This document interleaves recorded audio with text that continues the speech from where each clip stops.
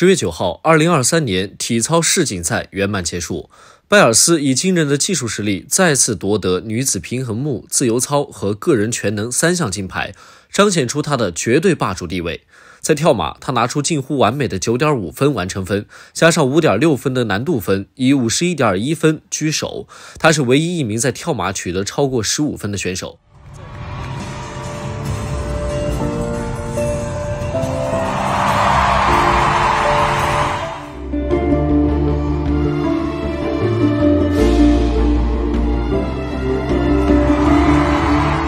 在自由体操，虽然他出现了一次罕见的小瑕疵，不慎绊倒自己，令完成分得到八点零三三分，不算最高。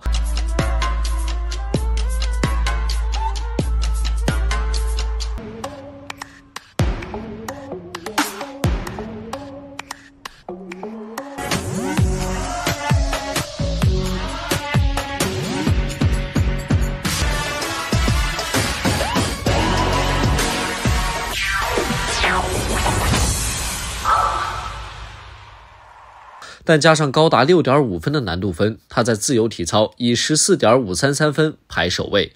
拜尔斯在平衡木亦以一十四点四三三分排第一。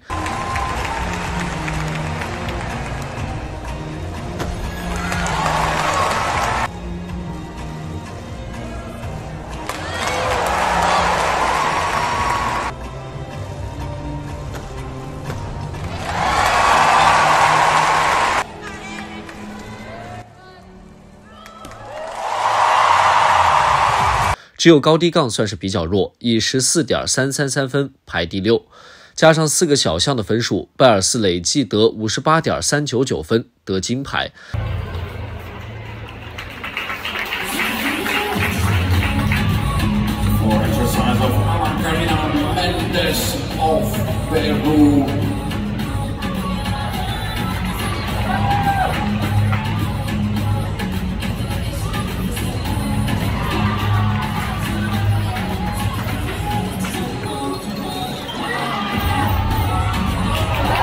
第六次世锦赛个人全能夺冠，巴西的安德雷德落后一点六三三分得银牌，另一名美国选手琼斯获得铜牌。至于中国选手邱奇元就获得第四名。在女子个人全能的颁奖礼上，拜尔斯不禁哭起来，要用手抹泪。她解释流泪有两个原因。她说：“我很激动，因为十年前我在这里赢得首个世界冠军，而现在我赢第六个，实在太疯狂了。不过我发誓，眼中有些东西，它困扰了我大约四小时，我一直无法弄出它来。当我抬头时，流泪是两者加起来的结果。”二零一三年世锦赛在比利时安特卫普举行，当年十六岁的拜尔斯初露光芒。首次获得女子个人全能的世锦赛冠军。十分巧合的，今年世锦赛又回到安特卫普。二十六岁的拜尔斯已经经历过高山低谷，在这十年，拜尔斯一共赢得二十七枚世锦赛奖牌，分别是二十一金、三银、三铜，加上他赢得四金一银两铜七面奥运金牌，